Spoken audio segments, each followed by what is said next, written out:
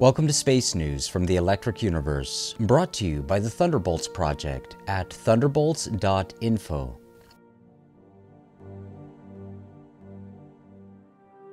One of the strangest cosmic phenomena ever observed in the Milky Way galaxy is the Fermi bubbles. In 2010, astronomers using the Fermi Gamma Ray Space Telescope discovered the so-called bubbles.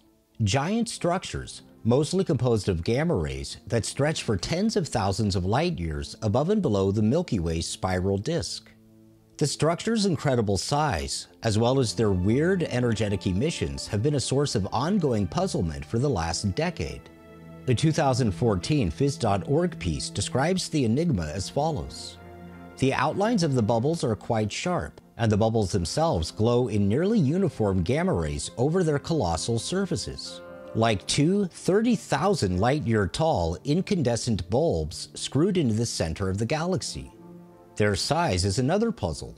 The farthest reaches of the Fermi bubbles boast some of the highest energy gamma rays, but there's no discernible cause for them that far from the galaxy. In at least one regard, the basic quandary the bubbles present to astrophysicists is similar to countless other high energy phenomena seen at the cosmic scale. That is, how does one explain stupendous electromagnetic structures and emissions in a universe where electromagnetism does not cause anything? After all, in the world of technology, when one wishes to produce X-rays, one does not go through the labor of smashing or compressing objects in the hope of producing shock waves which might heat and ionize the surrounding air. Nevertheless, it's a stunning fact that in 2020, despite the incredible revelations of a universe filled with plasma, pervasive and well-ordered magnetic fields, and yes, the inarguable signature of electric currents at every scale in the cosmos. Astrophysicists still rely on mechanical and kinetic processes to explain the electromagnetic phenomena now observed. This, of course, includes the ongoing efforts to explain the Fermi bubbles. Recently, a team of scientists at the Shanghai Astronomical Observatory used theoretical models and computer simulations to try to demonstrate that the bubbles were produced by the quote, forward shock created by powerful jets at the galactic center. Jets which supposedly blasted from the hypothetical black hole at Sagittarius A 5 million years ago. A Phys.org report on the study states, Seeing the very similar edges of Fermi bubbles in the galactic center biconical X-ray structure, the Shanghai Astronomical Observatory researchers realized these structures might share the same origin. Furthermore, the biconical X-ray structure could be naturally explained by the shock-compressed thin shell of hot thermal gas driven by a past energy outburst from the galactic center. This, however, is not the first time that science headlines have declared that the mystery of the bubbles has been resolved. In 2017, Astronomy magazine published the headline, Hubble solves the mystery bulge at the center of the Milky Way. Astronomers claim that between 6 and 9 million years ago, a quote, giant snack by the hypothetical black hole produced the energies that created the bubbles. We suggest, however, that the discovery of such unexpected and stupendous electromagnetic phenomena should have inspired investigations into electromagnetic science. Plasma physicists can easily see the bubbles as demonstrations of electrical phenomenon, documented for decades in laboratories.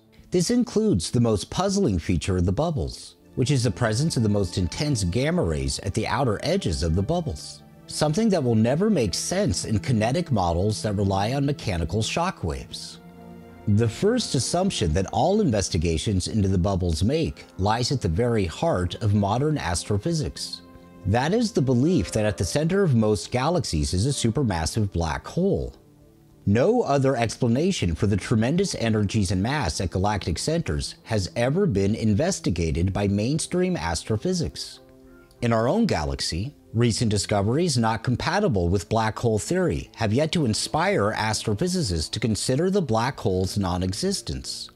This includes the observation of star formation at impossibly close distances to the so-called black hole, where tidal forces are required to rip the gas and dust apart. It includes the infamous non-consumption of the gas cloud G2, when astronomers around the world eagerly expected the black hole at Sagittarius A to gobble the cloud in a spectacular display. However, plasma cosmologists have proposed that at the centers of galaxies is not a black hole, but a physically real object, which has been produced in laboratories for many decades, called a plasmoid. The term plasmoid was coined by renowned MIT physicist Winston Bostick in the 1950s. Bostick described the plasmoid as follows The plasma is emitted not as an amorphous blob, but in the form of a torus. We shall take the liberty of calling this toroidal structure a plasmoid, a word which means plasma magnetic entity. Bostick's experimental research on the plasmoid led to the development of the dense plasma focus device. Bostick simulated many astrophysical phenomena through plasma physics experiments, including galaxy formation and spectacular cosmic jets. So called black hole jets are not well explained in standard astrophysics.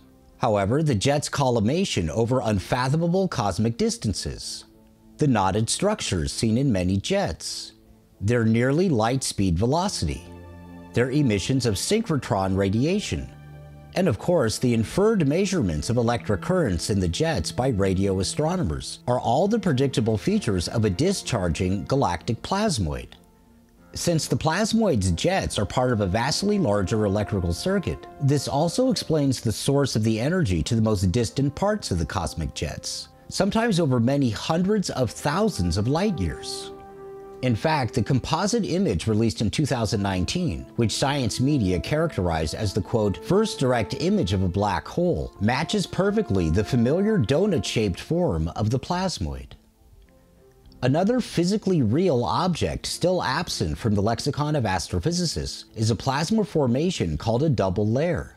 The father of plasma cosmology, Nobel Prize winner Hannes Alfvén, proposed that the double layer should be classified as a discrete celestial object, and that explosions of double layers could be the source of gamma ray bursts and mysterious X ray emissions. A double layer, or what is known as a Langmuir sheath, forms between plasma regions of different properties. Again, the presence of the most intense gamma rays at the outer edges of the Fermi bubbles can be resolved by simple plasma physics. In the electric universe explanation, the edges of the bubbles delineate the boundary of the galactic plasma environment and that of deep space. A double layer only exists where there is an electric current flowing through space plasma. In this case, the double layer at the bubble's edge would be like a giant spherical plate capacitor, with positive charge on one plate and negative charge on the other. Charged particles are accelerated across the double layer, generating electromagnetic radiation, which can include X rays and gamma rays. The double layer acts as a boundary effect, dissipating electrical energy in a thin layer. Plasma scientist Anthony Peratt wrote in his book, Physics of the Plasma Universe. X ray and gamma ray sources are likely to have the radiative energy supplied by electrical currents. Of course, the detection of electric currents in space is even vastly more complicated than the detection of magnetic fields. However, in the field of radio astronomy, a number of scientists have documented discoveries which reveal the expected signatures of cosmic scale electric currents. One of the most powerful of these discoveries came in 2019, when a team of scientists observed a vast radio emitting filament of plasma, which stretches across 10 million light years, connecting two clusters of galaxies, called Abell 0399 and 0401. The filament also marked the first time scientists have found a magnetic field connecting two galactic clusters. And perhaps most importantly, the radio emission the filament emits is synchrotron radiation, which the electric universe theory proposes is produced by spiraling electrons along an intergalactic Birkeland current. As stated by astronomer Matteo Murgia, we typically observe this emission mechanism in action in individual galaxies, and even in galaxy clusters, but never before has a radio emission been observed connecting two of these systems. A Science Alert report on the discovery states the electrons are covering way more distance than is expected, which means there has to be another element at play. Cosmic scale electric currents are also the only promising theoretical pathway that can explain cosmic magnetic fields, which mainstream cosmology did not predict, and to this day has not explained. As with the Fermi bubbles, many astrophysicists seek to explain galactic magnetic fields by mechanical explosions and chaotic processes over eons of time. like many other beliefs in popular cosmology, it has proved incorrect. As we've reported many times, scientists have now documented many galaxies with magnetic fields of, quote, astonishing order, as described in a Phys.org report from last year. Galactic magnetic fields are formed through numerous stellar explosions, the effects of which last for hundreds of millions of years. The energy bursts of all supernovas put together produce a galaxy's magnetic fields. Due to the fact that stellar explosions are chaotic processes, scientists had not expected them to generate a magnetic field with an orderly structure on a large scale. But this is exactly what they have now proved to be the case in several galaxies. The underlying mechanisms have not yet been fully understood. We suggest that the reason the underlying mechanisms are not yet understood is because they have not been investigated. And yet, what mechanism produces a magnetic field with an orderly structure?